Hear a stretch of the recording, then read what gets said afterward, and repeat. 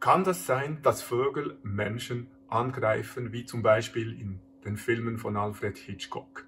Als Ornithologe bin ich natürlich immer wieder mit Vögeln konfrontiert und da ist es nicht erstaunlich, dass ich auch schon von Vögeln angegriffen worden bin. Zum Beispiel von dieser Vogelart hier, der Küstenseeschwalbe, die ist ein Bordenbrüter im hohen Norden und wenn man unbewusst in sich einer Kolonie dieser Art nähert, dann wird man von den Vögeln ziemlich heftig angegriffen und dann, dann kann es auch sein, dass sie wirklich mit dem Schnabel auch den Kopf berühren und das kann sehr unangenehm sein. Auch einmal, wenn ich zum Beispiel von dieser Eule hier angegriffen wurde, worden, das ist eine Sperbereule, die ebenfalls im Taigagürtel, zum Beispiel in Skandinavien brütet und da, auch da habe ich mich unbewusst einem Nest dieser Art genährt und dann hat die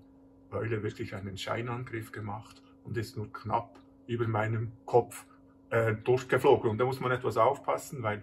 Eulen können auch richtig angreifen und sie greifen dann immer zuerst die Augen an. Also muss man sehr vorsichtig sein und es haben schon äh, Fotografinnen ihr Augenlicht verloren, weil sie von einer Eule angegriffen worden sind.